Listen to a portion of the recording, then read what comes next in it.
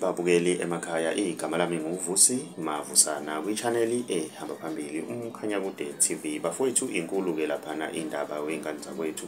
Utyathu godo ongumsakazi wokhozi noxolani mgcinekwa ongumhleli womcimbi eh ingoma kazwelonke wey'ngane zakwethu.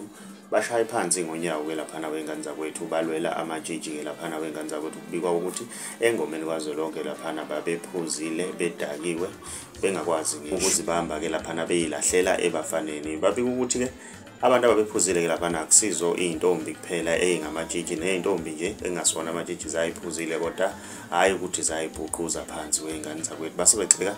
Babuye bagxeka kakhulu-ke ney'nsizwa-ke lapha ey'nkundleni zokuxhumana ezithi iy'ntombi zayidakiwe-ke laphana wey'ngane zakwethu. Babuza ukuthi iy'nsizwa ey'njani-ke ey'gxeka iy'ntombi-ke laphana ikakhulukazi amatshitshi-ke laphana wey'ngane zakwethu. Mina ngiyafisa-ke ukuzwa uvo lwakho uma uke wayizwa le nkulumo kamcinekwa-ke laphana wey'ngane zakwethu um notshathu kodwa ake sidibane laphana kwi-comment section ngizwe uvo lwakho ukuthi wena ngabe kuthini? Okwakho ukuphawula uma uke wayizwa-ke le nkulumo. Uma umusha ngiyacetha wenza okulungile. Gcina subscribe gcinza nebhela ukuze uzothola ama-notification njalo. Ma siphosta ividiyo. Entsha siyi-channel siyabonga.